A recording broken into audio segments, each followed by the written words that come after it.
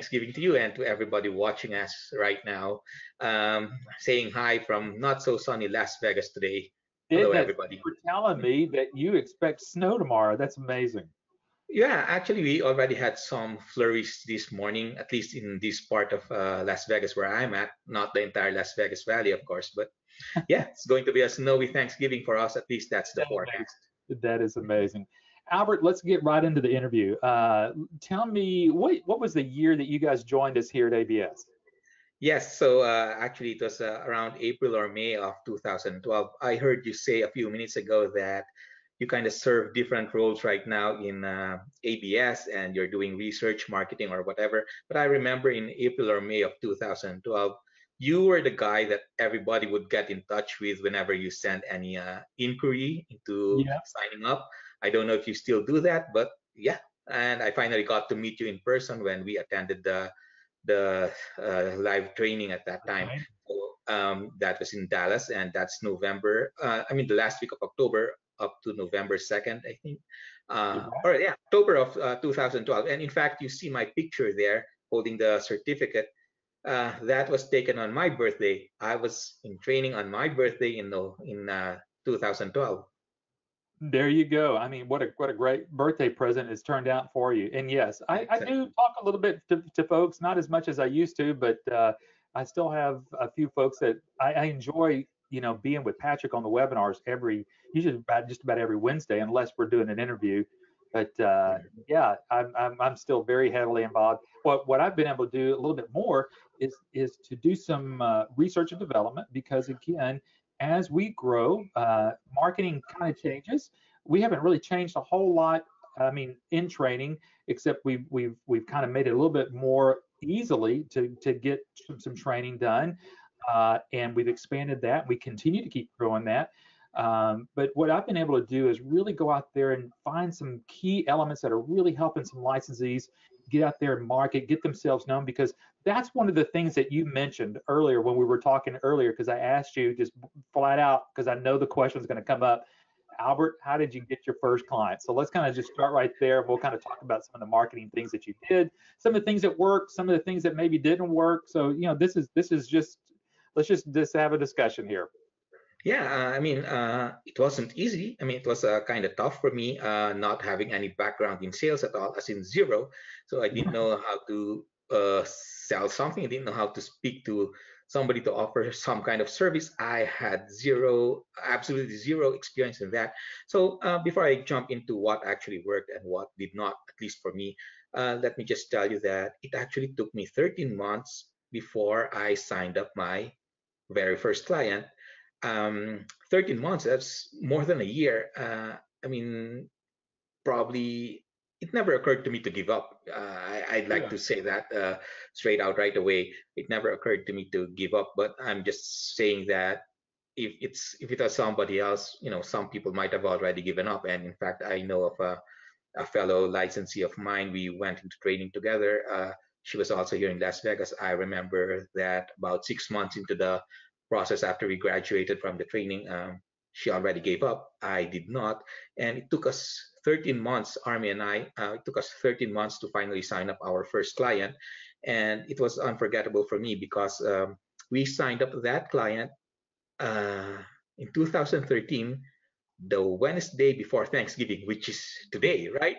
So yeah. it's kind of an anniversary for us. So we we had a contract signed on the evening of Wednesday before Thanksgiving. The reason why I remember this uh, very uh, clearly is because once I went home, I had a contract in my hand. We were kind of saying, now what? I mean, we didn't know what to do. We have a contract, and the next four days were holidays. There was nobody to call. We couldn't sleep. We didn't know what to do. And thankfully, at the following business day, Monday, we were able to call uh, support, ABS support, and they guided us what to do step by step on uh, what accounts to open, uh, what papers we need to complete, and, and all of those steps. So the, the thing is, uh, it was uh, four sleepless nights for us simply because we didn't know what to do. But uh, so, like I said, it took us 13 months to sign our first, very first client, 13 months after we uh, graduated from training. So right. it wasn't easy. Now, I told you a while ago, I'll go back to what actually worked for us and what did not. So uh, during the training, we were presented with several different options, you know, mail marketing, email marketing, uh, right. putting up booths, uh, giveaways, uh, door to door. We tried all of those. The only thing I, I the only thing I did not uh, try was uh, setting up a booth in a health fair or whatever. Right. although I understood that ABS would be actually providing us the materials, uh, the booth uh, virtually that we just need to kind of set up, assemble. That's the only thing we did not, I did not try. And also, uh, there's something else I did not try. I did not try to go into the, what do you call that, the networking, the, right. the attending these uh, business mixers, or I think that's what they call them. Uh, right. The only reason I did not try that is because I, I was too scared. Like I said, I didn't know how to sell anything. I, I, I knew that during the training day kind of made all of us develop some kind of an elevator pitch or whatever. Right. I had that. I simply did not have the courage to do it. So those are the two things that I I did not try. But everything else, I tried those sending out emails, uh, letters, postcards, going door to door. I've knocked on hundreds of different um, clinics here in Las Vegas. I do remember something that worked for us. One of the things that Cynthia, one of the trainers and the business coaches right now, I understand, uh, she mentioned to us uh, that we also need to become a perceived expert. Yes. We don't have to be an expert. We just need to be perceived as an expert. Uh, so, so what I did back then was uh, I was introduced to, to LinkedIn during the training. I didn't know what LinkedIn was before that. So uh, they told us, okay, you can create a LinkedIn profile. I did that. I created a profile. Then I, during the process of uh, setting up my uh, account, I discovered that there are groups that you can actually join. So sure. I selected uh, the groups that are related to medical billing, coding, uh, medical revenue systems, uh, those kinds of things. Um, and I discovered that when you sign up to those, you can actually opt to have like the uh, what do you call that the the summary of what were posted in that group sent to you every day as an email so so I didn't have any clients, so I had the time, all the time to actually open up one of those, uh, the, the, Daily Digest, something like that, the Daily right. Digest. And I could see the headlines in there. If there's something interesting going on or whatever, I click on that. I read just the first uh, one or two paragraphs, so I actually get a grasp of what they're talking about. And so, I mean, I didn't memorize anything. I just, I just kind of read those things. So I became aware of what was going on. At that time, it was the the meaningful use incentives or the switch from right. ICD-9 to ICD-10, those kinds of things. So what happened, how that benefited me is actually, and this is how I got my first client. So uh, there was a new startup in town, new startup, I mean, there was a startup uh, clinic in town that who, when I first got in touch with them, they just uh, signed up with a biller the day before. So I was kind of late uh, into the system, but that's fine. Um, like I told you, every almost every day I went uh, door knocking in all of the clinics here. Sure. So every one or two weeks I pass by that clinic and talk to the owner. Um, and I mean, I, I kind of built a rapport with them. So That's it doesn't matter that I was I wasn't billing for them or whatever. But what happened was because I was always there, the moment they had a problem with their biller, yes. guess whose uh, one foot is already inside the door? So, correct. And that's actually how I got into the business. That's the that, yeah, that's the owner I signed up on Wednesday night before Thanksgiving. So now uh, I guess he got uh, impressed with the service that we did for him, and he referred us to a friend of his and that's how everything grew right now all of our clients i can still draw some kind of a tree going back into the very first client because the only thing working for us right now is word of mouth. Now i'm not saying that had i continued doing the different kinds of marketing that were taught to us they wouldn't have worked. But the thing is we stopped doing them because we got all of these uh, clients based on the word of mouth. Right. Yeah. That's how I got into my position right now.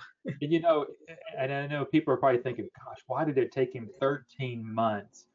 Uh, and I'm going to address that because that's what that's some of the things that we're doing now, kind of shortening that gap. And one of the things that you said was this whole LinkedIn uh, part of it. So we're we're really diving in that. We're kind of teaching some of that and then linking that with this the HIPAA compliancy part of it, and then doing these webinars, and it's and it's making th- that time a little bit shorter. However, let's fast forward from your first client to today. How many clients do you have today? Uh, I, I, think it's 30 or 31. I'm not uh, very sure of the exact number. It would be around 30 or 31. But aside from that, we are right now working with uh, Jordan of iClaim uh, into setting up four more. We're actually in the process wow. of setting up four more Amazing. clients, which will soon be on board uh, between a week from now to probably a month from now. So the not only did you have a monetary investment, you have a little, you had a little bit of time investment, and let's, you know, people think, wow, 13 months to get my first client. I don't know if I can do that.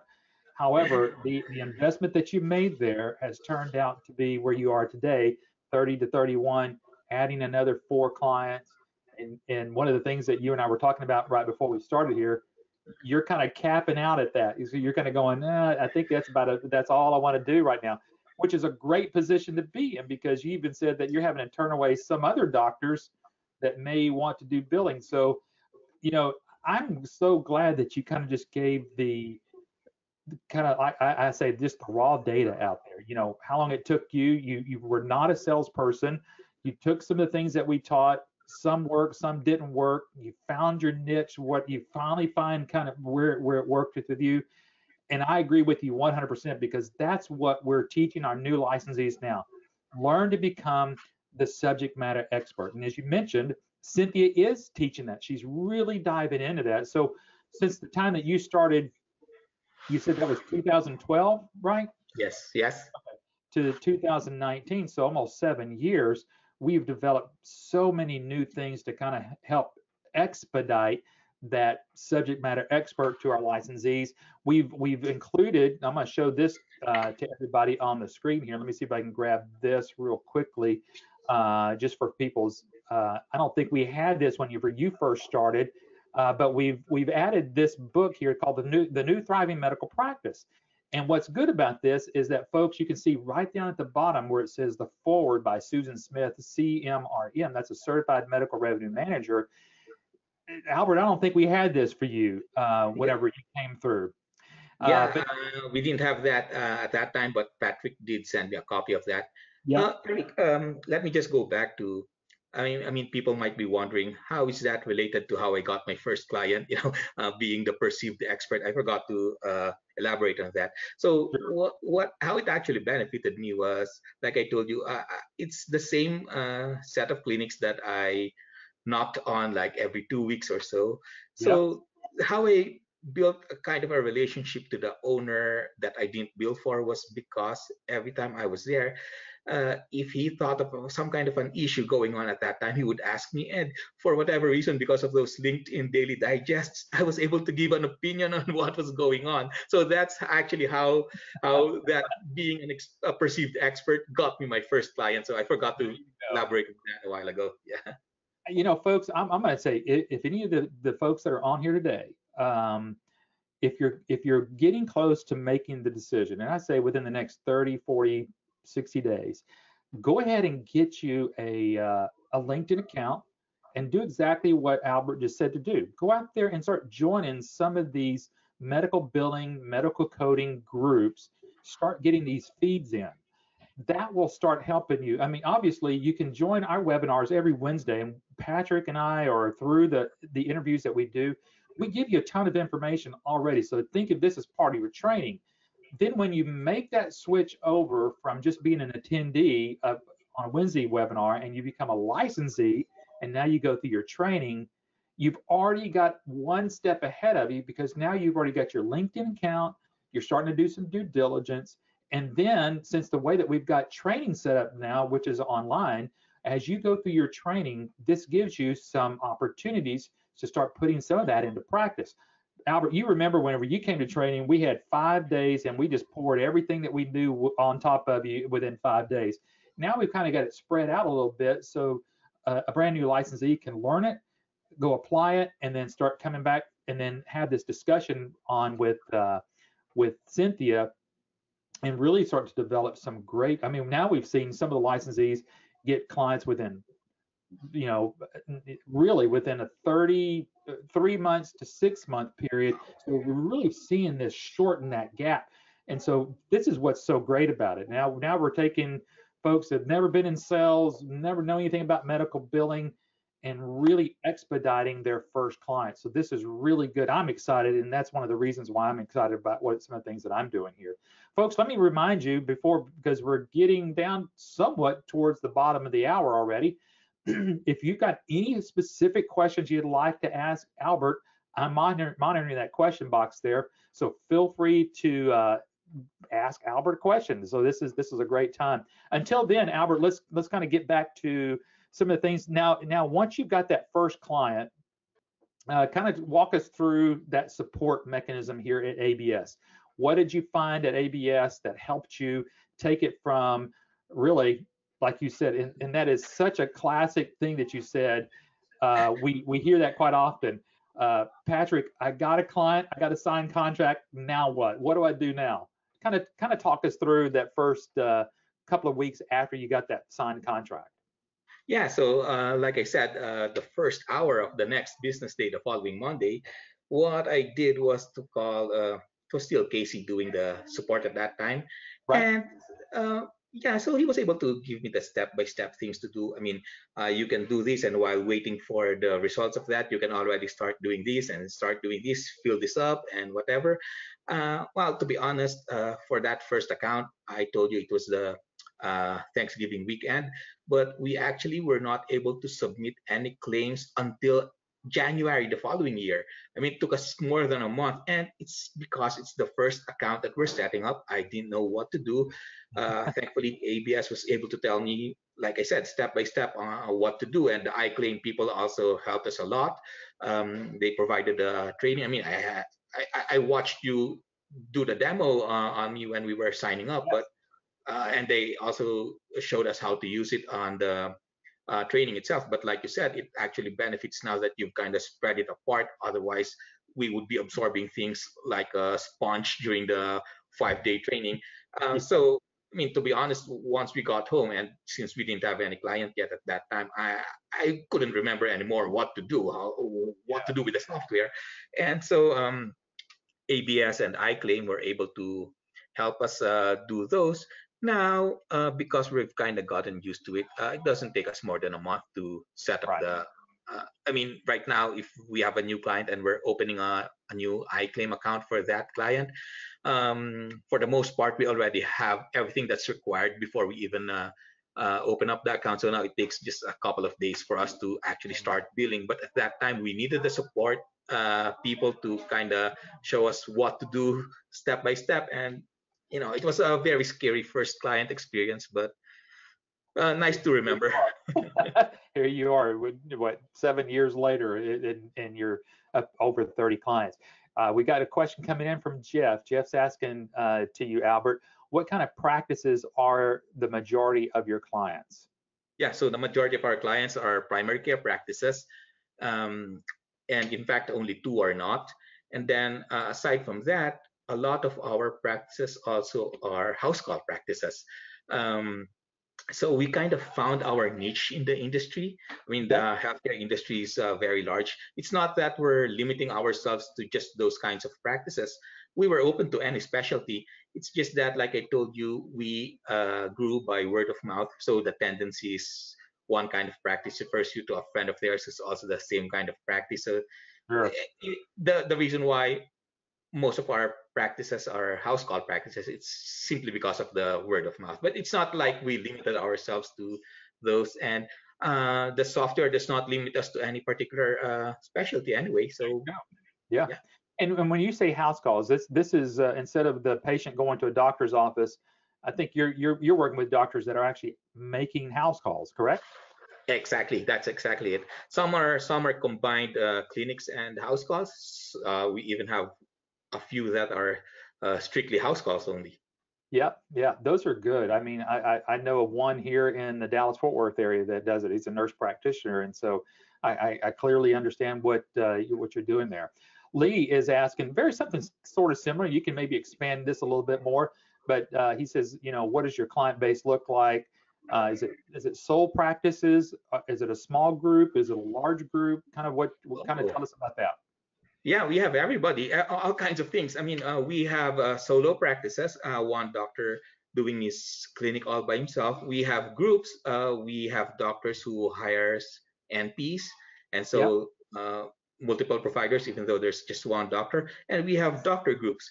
And actually, uh, one of the things that kind of made us expand a little bit faster than I would have expected is because because of these medical groups. Uh, so how we expanded, at least part of how we expanded is that one of the doctors employed by the group decides to open his or her own practice. And so automatically it's us that they contact to kind of help set them up. And yep. that's that's one of the ways we grew.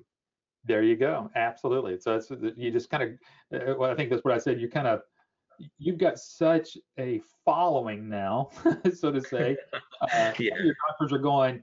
I'm a part of this group, but I think I want to kind of go start my own thing. And oh, by the way, Albert, will you still do my billing? So they kind of split off, and then so it's kind of yeah.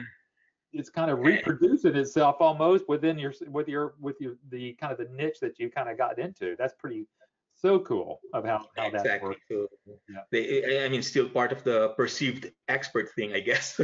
yeah, and and and that's that is, I think we're kind of starting to see somewhat of that become even more popular throughout the country. So folks that are on the call, you're kind of thinking, gosh, how how do I market and who do I market to?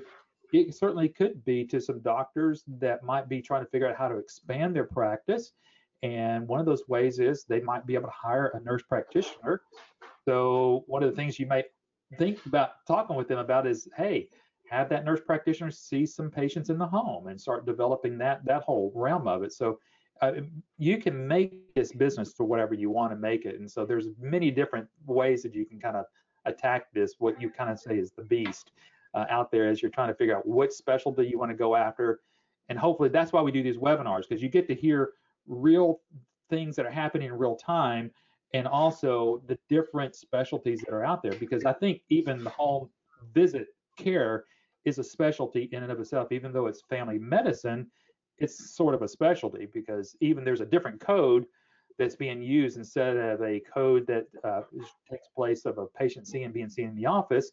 It's actually a home visit code and, and so it's it's but the software as albert said is still usable. The iClaim platform is multifaceted, so you can use it where the doctor seeing patients in the home, even in the hospital, if they're seeing patients in the clinic. So there's many different ways that that, that can actually be done. Lee's asking another question here for you, Albert. For your 31 clients that you have currently right now, how many employees do you have running those clients? Oh, okay, right now, um, aside from me and my wife, we have 10 employees.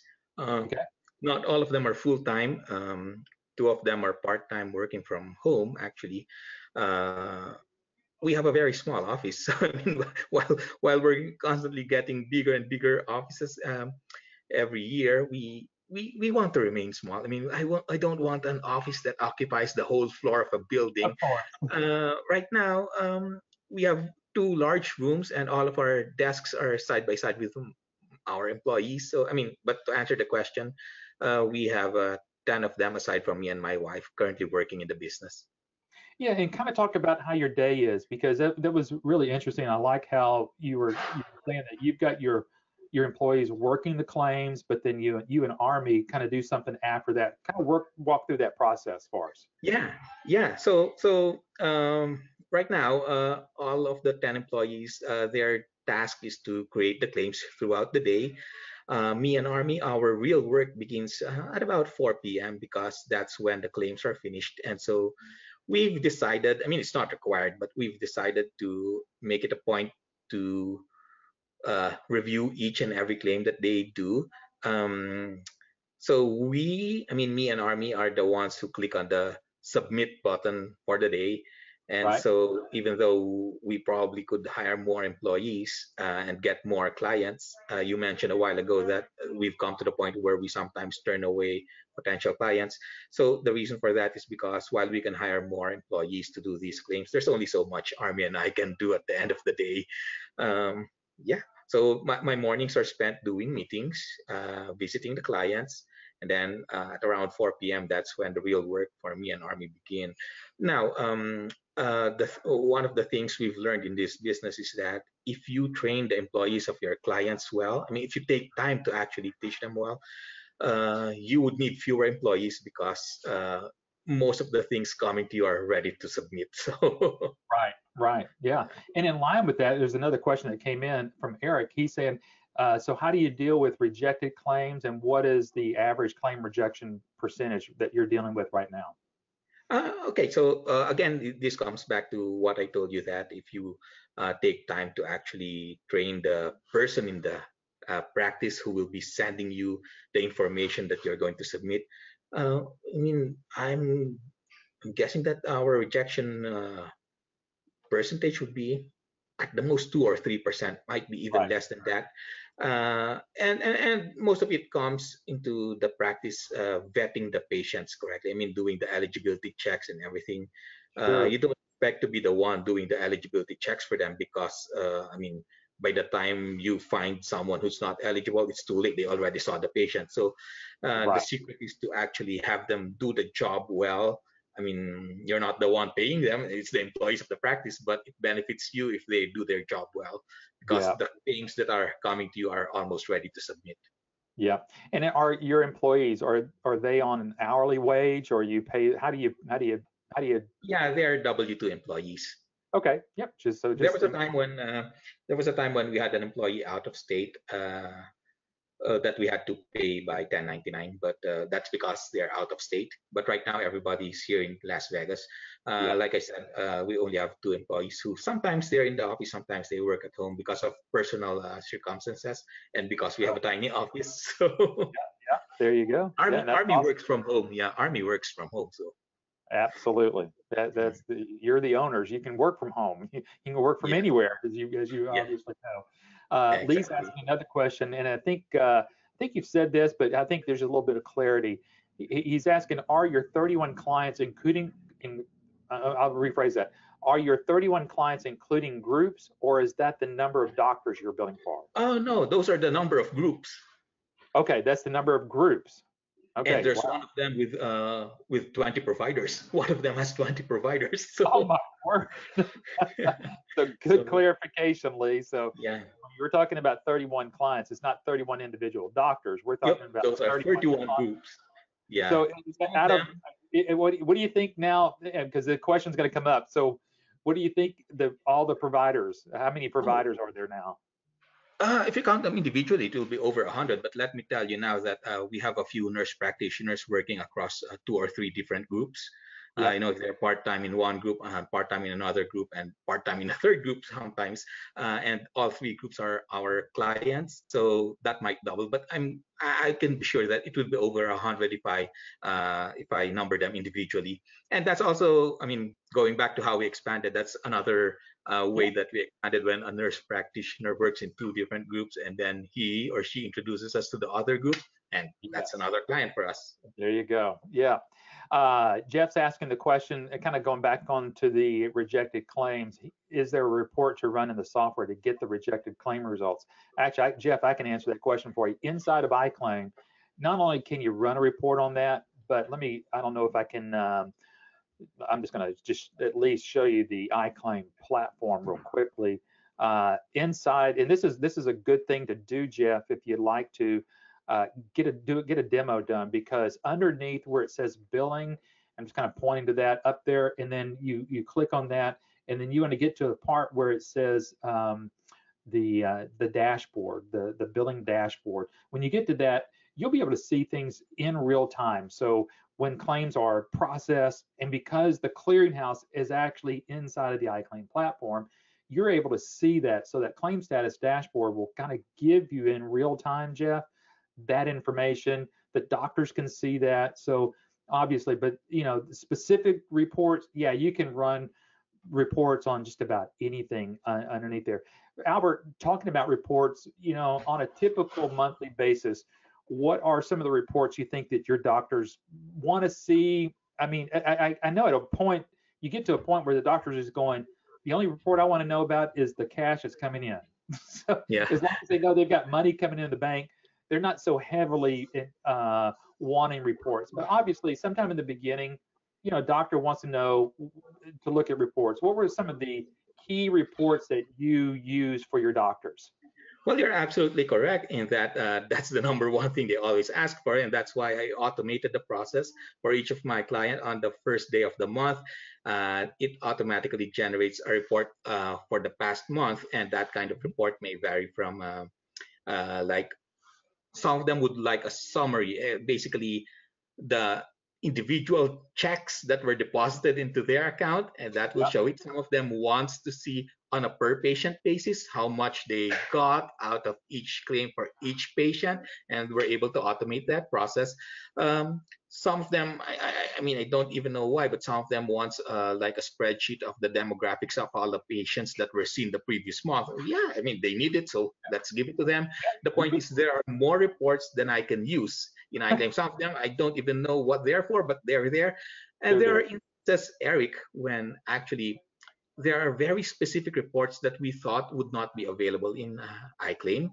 And yeah. so we kind of do the process manually, spend several days foolishly, only for me to find out once I get fed up and call uh, uh, iClaim support that yeah. I could actually have done that, generated the same kind of report I was doing manually it's in the system. I just needed to learn how to do them. And now I'm not going to pretend that somebody or anybody can actually master all of the reports. So you can always call them. That's the lesson I learned. Just call them and they'll be able to help you.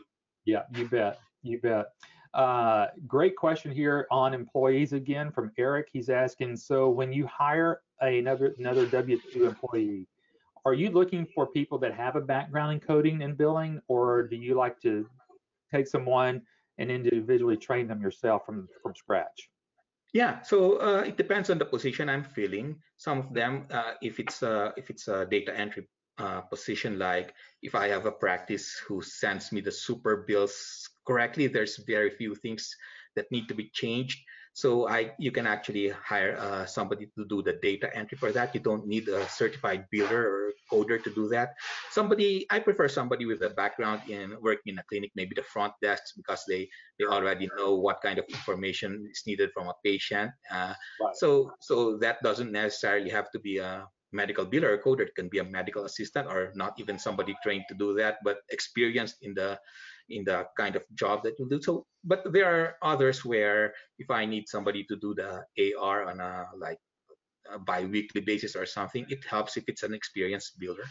Right. But but what I what I learned is that no matter who you hire, you're always gonna have to train him or her uh, because you know I mean every every business has its own workflow and we kind of have to adapt him or her to our own workflow. Um, the one thing that um, uh, I haven't experienced is I don't know why I haven't uh, tried hiring somebody who who like is ready to run the business for you. I mean, I wow. know some of you might be thinking that way. Uh, I still want to run my business right now. Uh, probably I will get into that point where I just want to leave somebody in there to run the business for me, but not now. Yeah, yeah, you're right.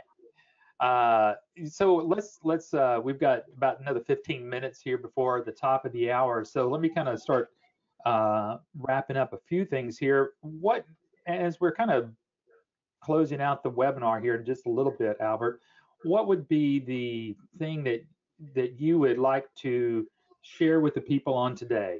Uh, you know, putting again, putting yourself in their position again, thinking about if they would this is one of the questions that you would have asked, and what would what would that be? What, what's some kind of great advice you can give to folks on the webinar today? Yeah, exactly. So, so you know, uh, during that time, th those 13 months when I haven't signed any client yet, and and even after I signed the first one, uh, the truth is, it was only after it was only maybe on the fourth client where we actually began to break even, uh, or or not break even, but actually take some money into the bank uh, for ourselves. It was only during the third client, I think. But I mean, during that period of time when we weren't at that point yet, you know, the struggles, uh, the the the um, uh, what do you call that? The the daily uh, thought of uh, do I want to continue this or whatever. So so I there's a tendency to think that it's only you who's undergoing that thing. Um, you know, there's a there's a podcast right now. It's called the How I Built This podcast uh, from National Public Radio. Uh, I mean, you don't have to listen to NPR to see those. There's a website. If you can search How I Did This, it's an NPR podcast, and the episodes are available there. So where I'm going at is if you go through all of these episodes, uh, the guests are the guests are always somebody who's opened a business and the, the kinds of uh, people they guest there is like the founder of uh, Kate Spade, the founder of uh, Ben and Jerry's, uh, Stitch Fix, Lara yeah. Bar, the energy bar company, or, uh, those kinds of things. Uh, you that's when you will realize that it's not only you. All of these people, even if they are in a different line of business, you can totally relate to the things that they went through. It's the same things that you are going through today if you are still struggling to get your first client. So uh, there's there's some kind of a satisfaction in knowing that it's not just you. There's satisfaction in relating to the struggles that they have. Yeah. See, there's satisfaction in knowing that one day you'll make it. Just don't yeah. give up. You know, that's a, that that is. I am so glad that you kind of brought that up because, again, you know, sometimes you feel like you're just in this one little bubble, and, it, and it's just happening just to you. And it's good to know that, you know, when you become an entrepreneur, and you're you're going out there and you're fledging out and you're just doing it because man this is you just know this is what you want to do. Can you make that money? Yes. You get your your your roi back you you start see it start to develop. You kind of go through peaks and valleys in the first year the second year and then finally you get to that point where it's kind of like it's just clicking. And that's where you it, and, and you're right. It's it's the stick to itiveness if you want to call it that of any type of entrepreneur that you go out there and you just do it. Uh, like you said there are some people that have maybe put this aside. We've actually had people buy in put it aside for a little bit and then get back into it and then now they're they're they're successful. You know they're like yourself you said i'm sticking with it and i'm you know i'm going to get out there and make it and you did.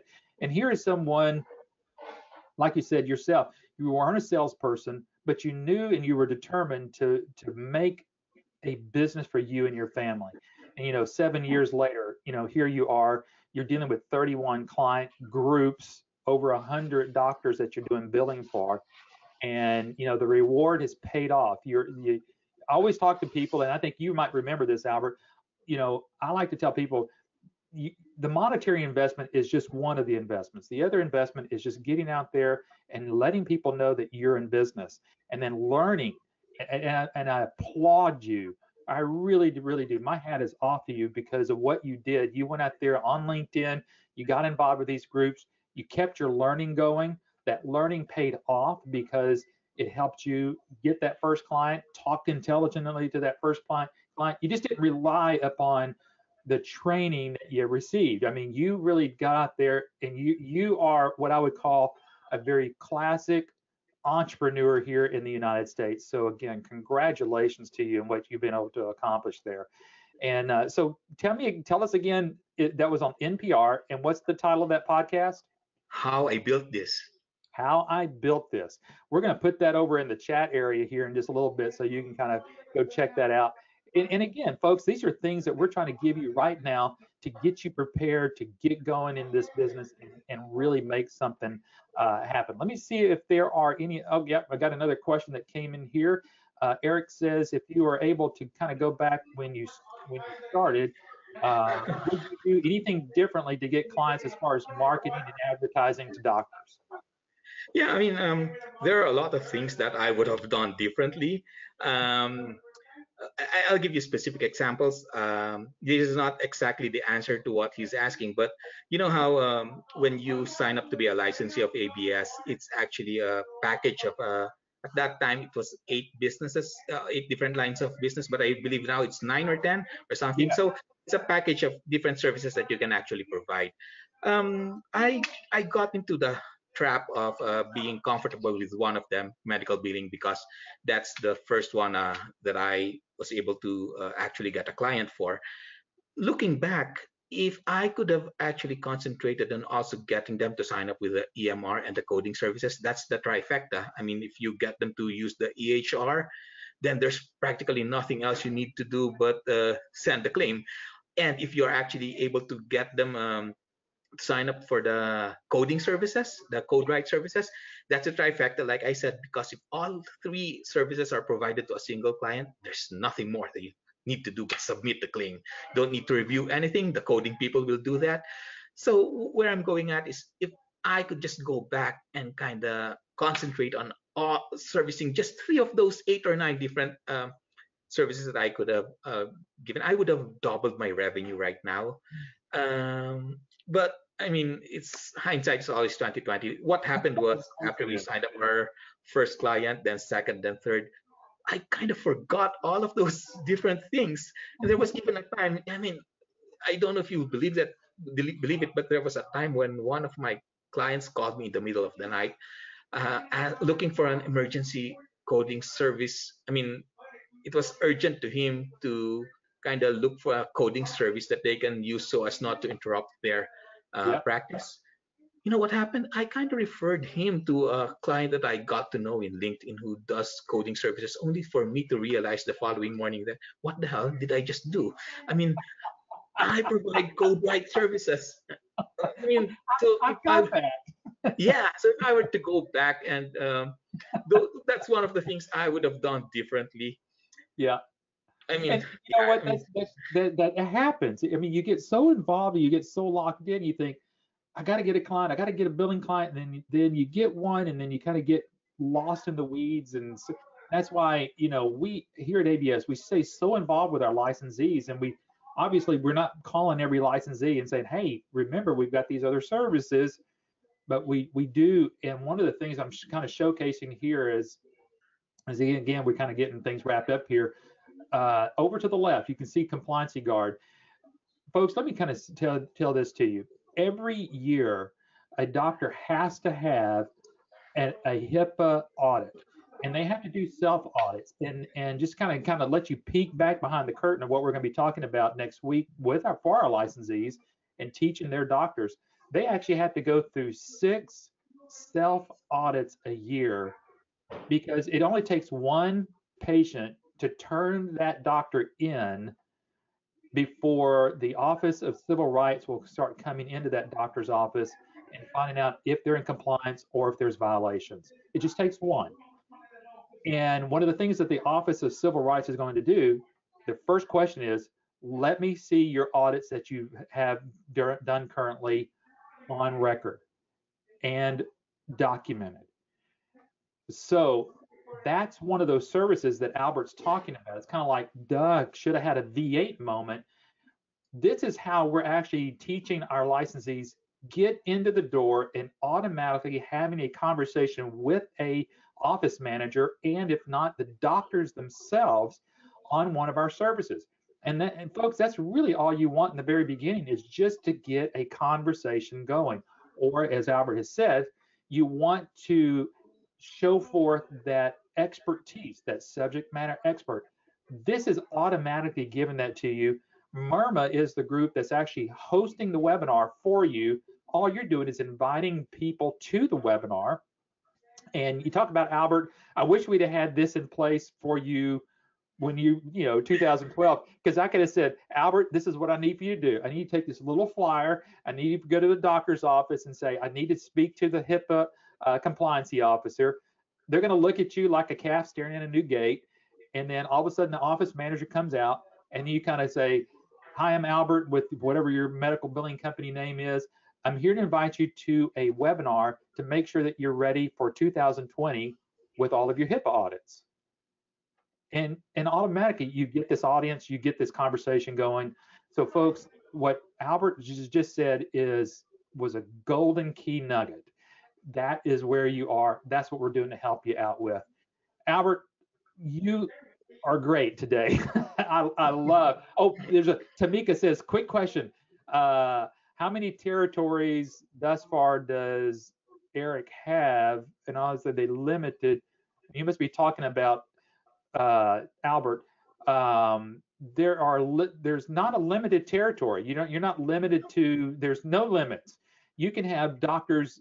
Uh, I mean, I think you're kind of concentrating there though in the Las Vegas area. No, no, I have oh, more okay. clients outside Nevada. So okay. I have clients from California to Florida, even in Hawaii. Wow. even there in Dallas. Actually, trip to Hawaii. Wow, what an uh, what. A, yeah, I have a client right where you are in Dallas, Texas. Look, look at this, man! You're all over the place. Yeah. Uh, one last question from Eric: How long does it take uh, for an average claim to be processed and then to be paid? About two weeks, I would say the average. Yeah. But but to but to process a claim, what does it take someone oh, to process? Yeah. Takes you minutes to submit it. You just have to wait until it's paid. If that's what he's asking, how many, how much time it takes to actually submit that claim, uh, from seconds to minutes, depending if it's a new patient or if it's a, an established patient. But I mean, once you submit it, there's nothing else to do until it gets paid or it gets denied. So yep. and then you work it and you take care of it from there. Yeah. But yeah, mm-hmm. less than less than two weeks basically. Matt. Mm-hmm.